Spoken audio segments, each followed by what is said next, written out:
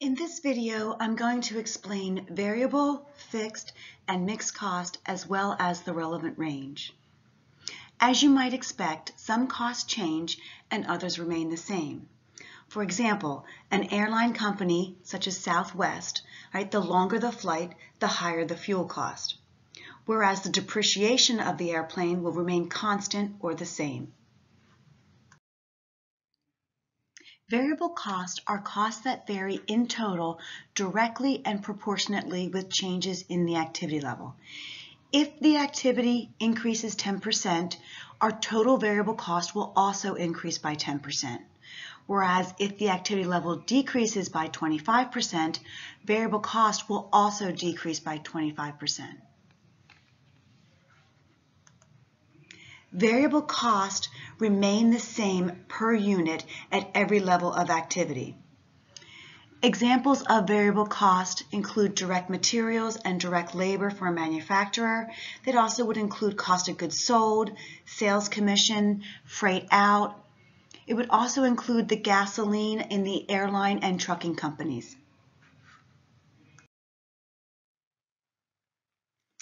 Right, the best way to illustrate variable cost is um, I selected donuts. I figure everyone can relate to a donut or a dozen donuts. All right, so what I want you to think of is the raw materials, the flour, the sugar, the eggs, the milk, all right, all the ingredients that goes into making the donuts are a variable cost.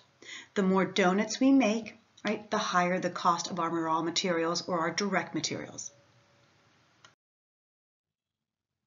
Total variable cost change as activity level changes. To illustrate, if our production triples from 50,000 dozen donuts to 150 dozen donuts, you can see that the total direct material cost will also triple, going from $55,000 to $165,000. If you look at the graph, you can see that the graph starts at zero Again, so if we produce zero um, donuts, dozen donuts, there is zero cost.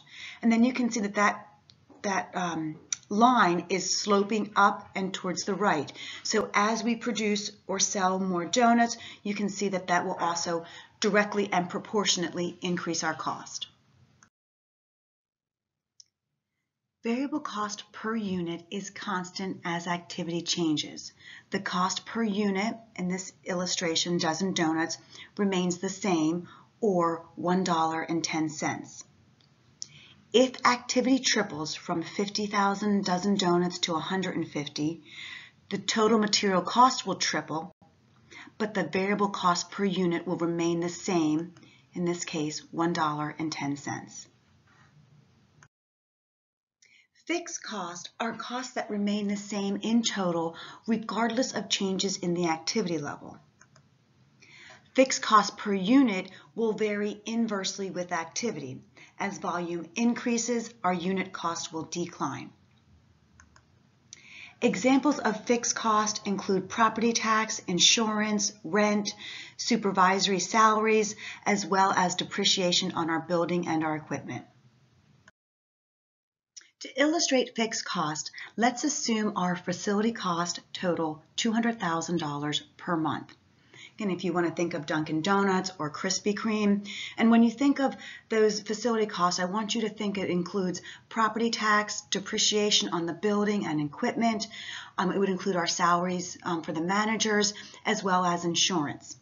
Right? Again, whether that um, facility is producing 50,000 or 150,000 dozen donuts, right? That monthly cost will remain the same or uh, $200,000. Right, let's look at that per unit cost, right? So the company's facilities cost per dozen item is $4 when 50,000 dozen items are produced or sold, but you can see that that number decreases to $2 when we are selling 100,000 dozen donuts. Again, that math there is we're taking our total cost, or $200,000, and dividing it by that activity, number of units produced, right, to come up with that cost. So you can see that as we produce more uh, dozen donuts, our fixed cost per unit will decrease.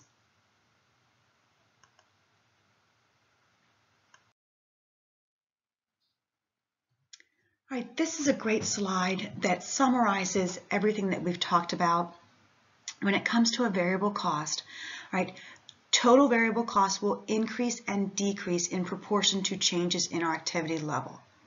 Our variable cost per unit will remain the same at every level of activity. In the example that we just looked at, right, that dozen of donuts was $1.10, whether we were selling, selling or producing 50,000 or 150. Right? Example of variable cost are going to include our direct materials, our direct labor, our variable manufacturing overheads such as indirect materials and supplies. It will also include cost of goods sold, sales commission, and freight. Whereas our fixed cost, again, they're going to remain the same in total, and that fixed cost per unit is going to vary inversely with activity. Again, as volume increases, our unit cost will decline and vice versa. Examples, common examples of our fixed cost, depreciation, insurance, property tax, rent, supervisory, and administrative salaries.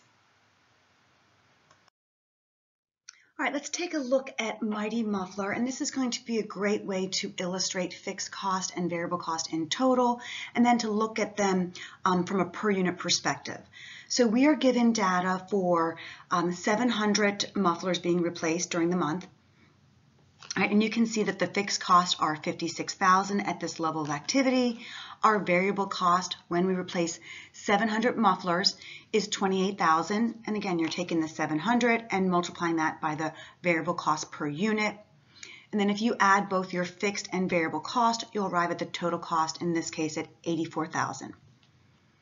Right, if you go down to your fixed cost per unit, right, that is obtained by taking your fixed cost, your total fixed cost of 56,000 and dividing by 700. Right, the variable cost will remain the same, in this case, $40. Let's take a look at what happens when uh, Mighty Mufflers is replacing 600 mufflers. Again, our fixed costs remain the same or constant, so they will be 56,000. Our variable cost at this level of activity will be the 600 multiplied by our variable cost per unit or $40 to arrive at 24,000. Right? Again, our total cost when we are replacing 600 mufflers is 80,000. Our fixed cost per unit, again, if you take the 56,000 and divide by 600, you'll get $93.33. Our variable cost per unit remain the same, so that will be 40. And you can see that's the total cost per muffler replacement when we are uh, replacing 600 units or 600 mufflers. And let's take a look at 800 mufflers being replaced. And the fixed cost, they remain the same. They are constant, 56,000. Our variable cost, again, we're going to take 800 and multiply that by 40 to arrive at 32,000. When we are replacing 800 mufflers, our costs are 88,000. Right, and our fixed cost per unit will be $70. Again, we arrive at that by taking our total fixed cost and dividing it by 800 mufflers being replaced. Our variable cost per unit remains the same, or $40, so that when we are replacing 800 mufflers, our cost per muffler is 110. For most companies, operating at almost zero or 100% capacity is the exception rather than the rule. Instead, most companies often operate over somewhat of a narrower range, such as 40 to 80% capacity. Again, you can see that 48 to 80% capacity being represented in the purple, right, on both total variable cost and fixed cost. Right? The range over which a company expects to operate is referred to as that relevant range. Within the relevant range, as both diagrams show, a straight line relationship generally exists for both variable and fixed cost. Oh, we have one more thing to talk about. Mixed cost. All right, a mixed cost is going to have both a variable element and a fixed element. Right? These changes are going to occur in total, but not proportionately with changes in the activity level. A great example is um, a U-Haul. If any of you have ever rented a U-Haul, um, if you think about it, there's a charge per day, but there's an, also a certain amount per mile. So when you determine the cost of a one-day rental, the per day charge is a fixed cost, right? whereas the mileage charge is a variable cost.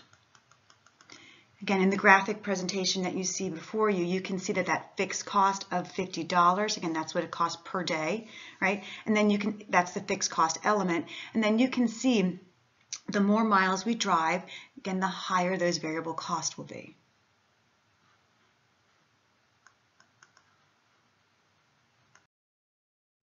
Right, in this exercise, I would like you to identify the 12 costs as being either variable, fixed, or mixed. Right, and the solutions will be um, provided in the next video.